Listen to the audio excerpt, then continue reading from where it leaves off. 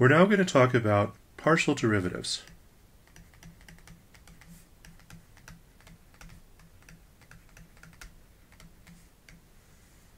So let f be a function of two variables, say x and y.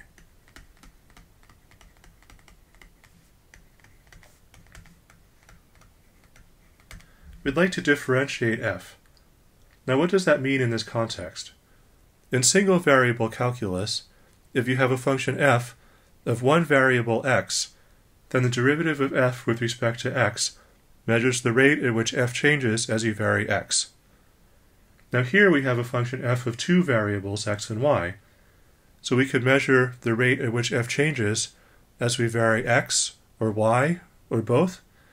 So there is not one single derivative of f. Rather, there are two partial derivatives defined as follows. So definition, the partial derivative of f.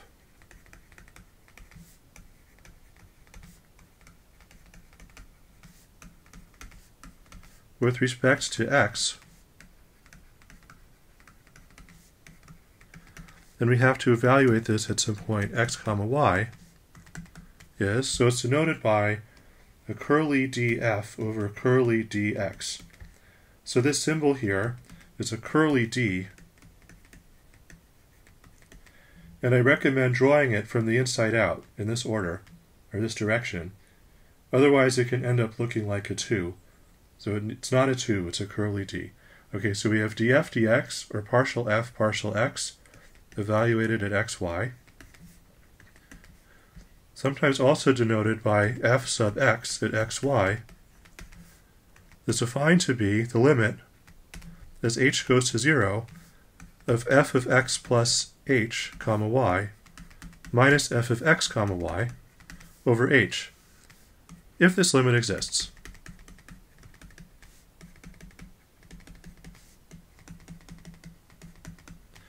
If the limit does not exist, then the partial derivative of f with respect to x is not defined at the point xy. Okay, so what does this mean? So if we look at this expression, we see that y is fixed and only x is changing. So if we just covered up the y here and pretended it wasn't there, then this would look exactly like the usual definition of derivative of a function of a single variable. But now there's an extra y here, but it's always staying fixed. So we could describe this in words as follows. This is the rate at which f changes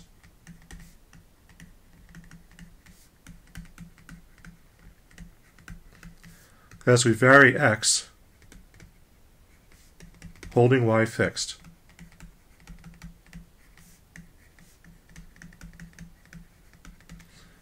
Let me draw you a picture to illustrate what's going on. So let's draw some axes.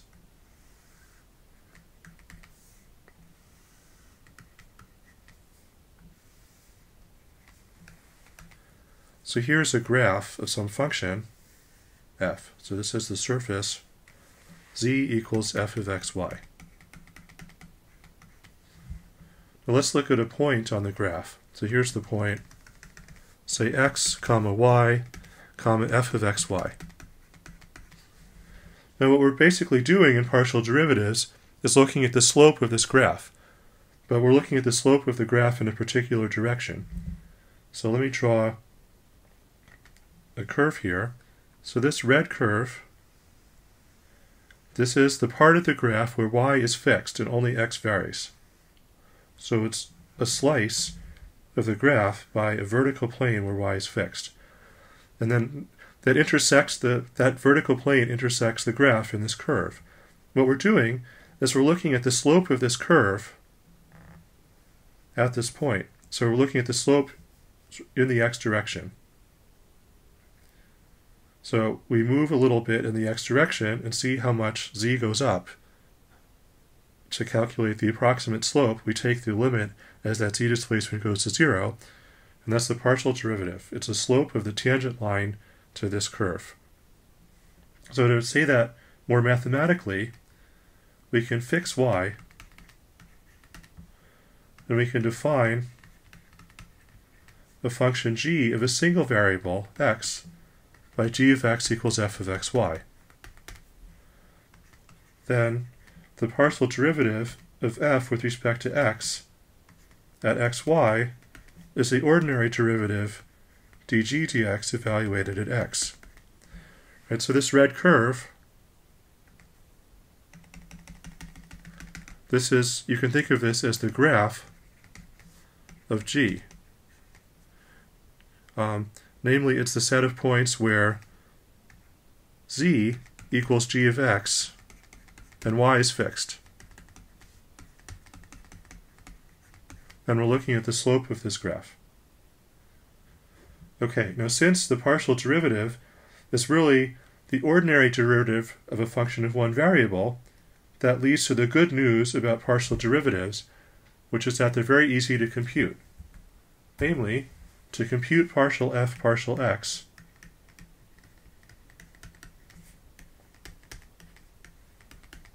you regard y as a constant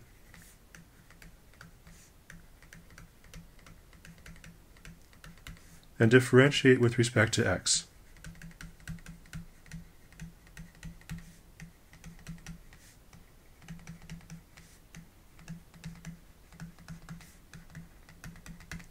For example, suppose f of xy equals x cubed plus y to the fourth plus x squared y. Okay, so to calculate partial f partial x, well, we differentiate using the sum rule, so we first differentiate x cubed, and that's 3x squared. And the next term, we differentiate y to the fourth. Now, since y is acting as a constant here, the derivative of this term is 0. And then for the third term, I have x squared times y, and again, y is like a constant, so we get 2xy. Isn't it great how easy that is? Okay, now there's also a partial derivative with respect to y. So we define partial f partial y at xy is the limit as h goes to 0 of f of x comma y plus h minus f of x comma y over h. As usual, if this limit exists. Otherwise, it's not defined. And this in words is the rate at which f changes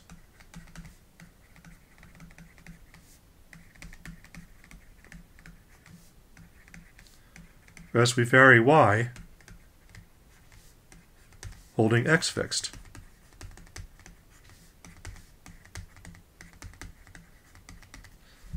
And going back to the picture, so we can draw another curve on here, which I'll draw in blue. It looks something like this.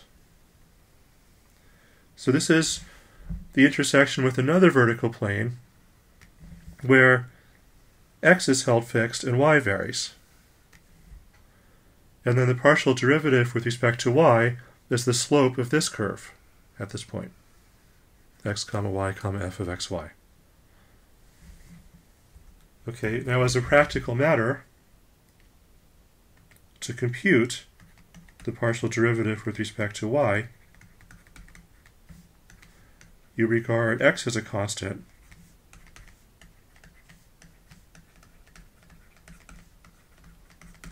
and differentiate with respect to y.